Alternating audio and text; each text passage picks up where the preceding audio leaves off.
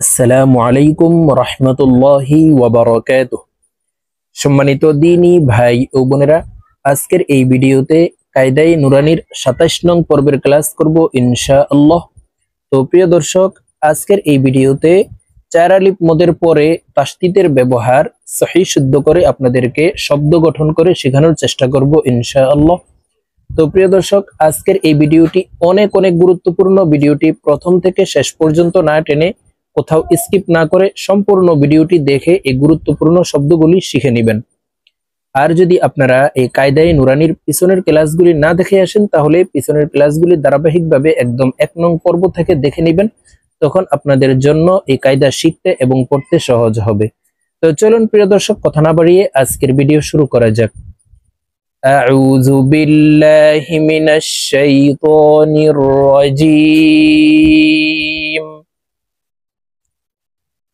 بسم الله الرحمن الرحيم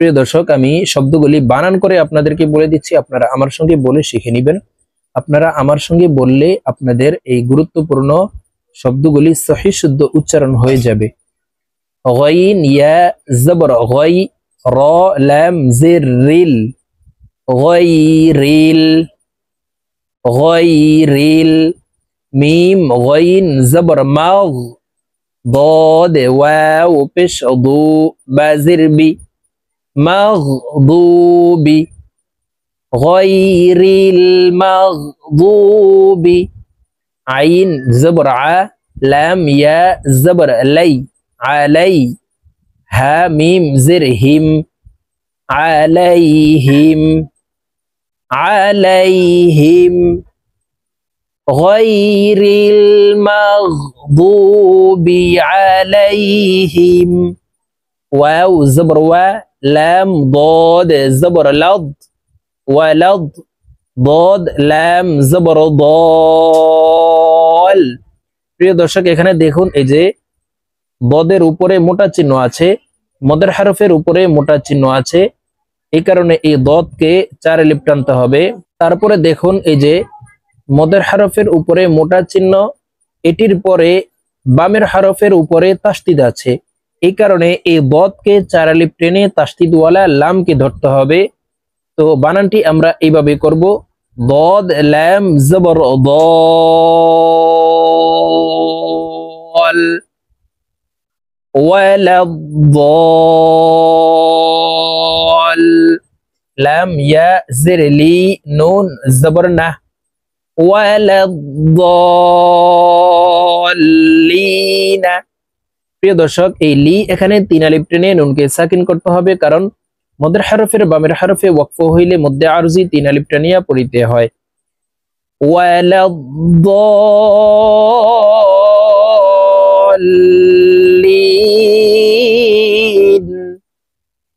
প্রিয় দর্শক, সম্পূর্ণ আয়াতটি আপনাদেরকে শুদ্ধভাবে বলে দিচ্ছে। আপনারা আমার সঙ্গে সহি শুদ্ধ করে শিখে নিন। গইরিল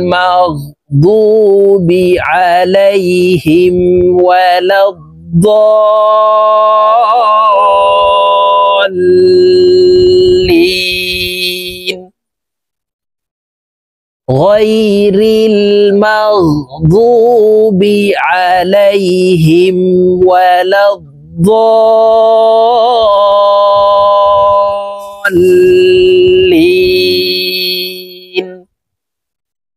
واو زبر و واو زبر و واو جيم زبر جا دال زبر دا ووجد كاف زبر كا ووجدك ضاد لام زبر ضال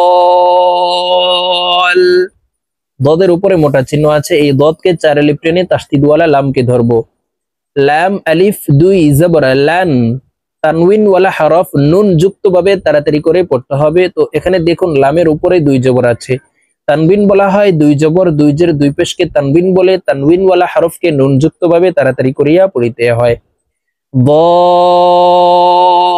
ضالًا ضالا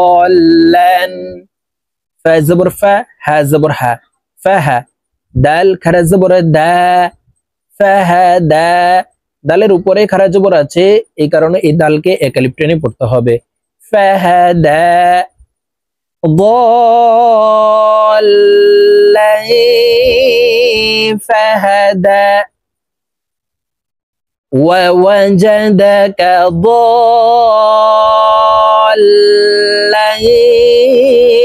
فهدى. ووجدك ضالا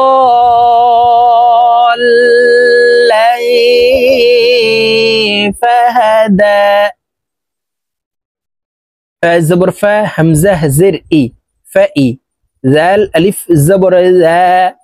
فإذا জিম আলিফ জবর জা চার আলিফ টান হবে মদর হারফের উপরে মোটা চিহ্ন বামে হামজা মধ্যে মুত্তাসিল চার আলিফ টানিয়া পড়িতে হয় এই কারণে এই জিম হারফকে চার আলিফ টানে পড়ব হামজা জবর আ তা ত জের তিত জাআত فإذا جاءت ط ميم زبر طام তর উপরে মোটা চিহ্ন আছে। এই ত হারফকে চার আলিফ টেনে তাসদিদওয়ালা মিমের সাথে গুন্নার সহিত পড়ব। এইভাবে পড়তে হবে। ত, মিম, জবর, ত মিম, জবর, মা, তা, লাম, পেশতুল মাতুল, কাফ, বা, পেশ কুবে বা কলকলার হরফ। নিচের দিকে ধাবিত করে ধাক্কা দিয়ে উচ্চারণ করতে হবে। র, খারা, জবর, র কুবে র। الطامة الكبرى. فإذا جاءت الطامة الكبرى. فزبر فا همزة زر إي. فإي ذال ألف زبر ذا. فإذا جيم ألف زبر جاء চার আলিফ টান হবে মদার হারফের উপরে মোটা চিহ্ন বামে হামজা মধ্যে মুত্তাসিল চার আলিফ টানিয়া পড়িতে হয় হামজা জবর আ তা صاد زر طص فإذا جاءت صاد خ زبر صاخ খ জবর খ তা পেশতু বুলতা ওয়াকফের ক্ষেত্রে হার উচ্চারণ করতে হবে এবং হাকে সাকিন করে ফেলবো হাকে যখন আমরা সাকিন করব তখন এই খ হাকে ধরবে খ হা জবর খ فإذا جاءت الصاخة فإذا جاءت الصاخة ওয়াও জবর ওয়া লাম আলিফ জবর লা জবরের বাম পাশে খালি আলিপ মদের হারব ডান দিকের হারকতকে এক আলিফ টানিয়া পড়িতে হয়। এই মতকে মধ্যে তবাই বলা হয়। ওয়ালা তা জবর তা হা বদ খারা জবর হার উপরে মোটা চিহ্ন আছে এবং খারা জবর আছে। তো এই হা কে চার আলিপ টেনে তাস্তিদ ওয়ালা বদ কে ধরবো। ওয়ালা তা হা বদ ওয়া ও পেশ নুন, জবর, না। ولا تحاضون. عين زبر ع لام كرا زبر لا على طو زبر طو. عين ألف زبر ع على طاعة ميم لام زر مل على طعام ميم سين زر مس كاف يا زركي نون زرني মিসকিনি। কি এখানে? তিন আলিফ টেনে নুনকে সাকিন করতে হবে, কারণ মদের হরফের বামের হরফে ওয়াকফ হইলে মধ্যে আরজি তিন আলিফ টেনিয়া পড়িতে হয়। আলা তাআমিল মিসকিন। সম্পূর্ণ আয়াত বলে দিচ্ছি, আপনারা আমার সঙ্গে বলার জন্য চেষ্টা করুন। ولا تحاضون على طعام المسكين. واو زبر و همزة زرئي وإي ذا الألف الزبر ذا وإذا راء ألف زبر راء همزة واو زبر أو وإذا رأوا রাআউ হা মিম পেশ হুম ওয়া ইজা রাআউহুম قاف ألف زبر قا لام واو بشلو قالوا وإذا رأوهم قالوا همزة نون زر إن ওয়াজিব গুন্নাহ হরকতের বামে নুনে মিমে তাসদিদ হইলে সর্ব অবস্থায় নাকের বাসি থেকে গুন্নাহ করিয়া পড়িতে হয় এই গুন্নাহকে ওয়াজিব গুন্নাহ বলা হয়। গুন্নাহ না করিলে আমরা গুনাহগার হব। তিন সেকেন্ড পরিমাণ এই হামজা তাসদিদওয়ালা নুনকে ধরে রাখব। দেখুন, এইভাবে পড়ব।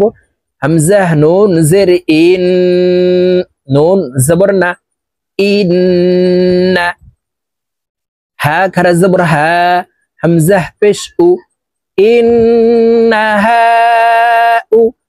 লাম আলিফ জবরাল্লা চার আলিফ হবে মদর হারফের উপরে মোটা চিহ্ন বামে হামজা মধ্যে মোতাসিল চার আলিফ পড়িতে হয়। তো এই লামকে আমরা চার আলিফ টেনে পড়ব। হামজাহ জের ই ইন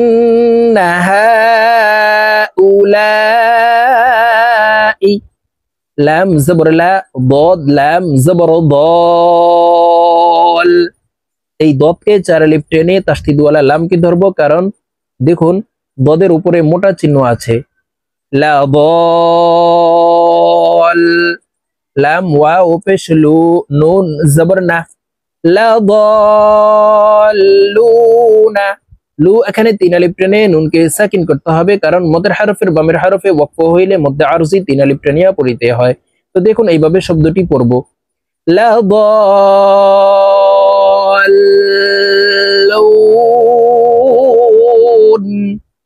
প্রিয় দর্শক সম্পূর্ণ আয়াতটি আপনাদেরকে বলে দিচ্ছি দেখুন وَإِذَا رَأَوْهُمْ قَالُوا إِنَّ هَؤُلَاءِ لَضَالُّونَ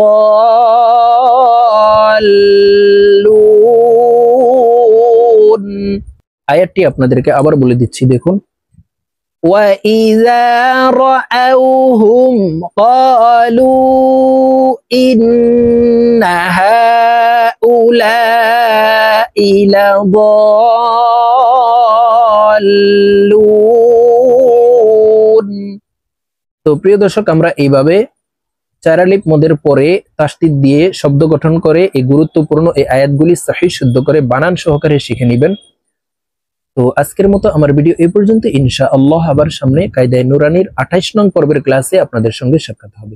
আসসালামু আলাইকুম ওরহমতুল্লাহি ওয়াবারকাতুহ